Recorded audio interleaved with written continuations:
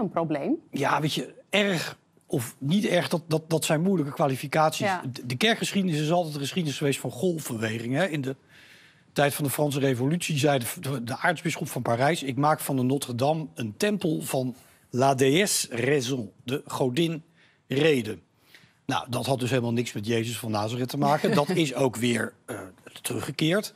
Het is Dus nu wat gewoon zegt, weer een... wat zegt u daarmee? Nou, dat eh, de wal op een of andere manier, dat leert de kerkgeschiedenis, het schip altijd weer keert. Dus zeker, de, de, de kerkelijke instituties zijn in de 60 of 70 jaren geïmplodeerd. Bisschoppen hebben zelf ook wel gezegd, ja, die kerk was natuurlijk ook wel overal tegenwoordig eh, triomfalistisch, ook moralistisch. Ik herinner me een verhaal van een man die op een gegeven moment aan de pastoor vroeg in Groenlo of die in de vaste tijd op zijn verjaardag kalfskroketten mocht serveren. En dan denk je, nou ja, dat is een kwezel. Maar die man was de directeur van de Grols, een groot katholiek familiebedrijf. Het bestaat nog steeds niet als familiebedrijf, maar ze brouwen nog steeds gewoon goed, goed bier.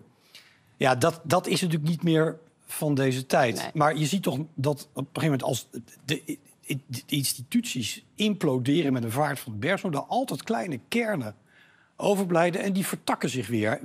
En daar, en daar hoopt u gewoon op. U, of u bent daarvan Ja. verzekerd dat dat gebeurt wel? Nou ja, ik, ik, ik hoop daarop. Ik vind Ja. het heel jammer dat het kerkelijk leven in Nederland afneemt. Want er is niks zo heerlijk om op zondagmorgen in een nou ja, katholieke kerk. Dat zijn hele mooie sacrale. Zeker. Maar da- da- daar, daar word je heel klein.